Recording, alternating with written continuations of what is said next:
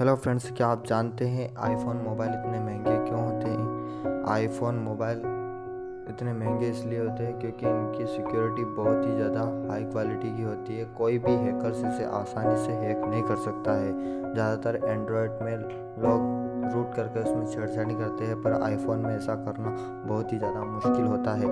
क्या आप इससे पहले फैक्ट जानते थे? नहीं जानते थे तो प्लीज़ चैनल को लाइक शेयर सब्सक्राइब और कमेंट कीजिए। धन्यवाद। thank you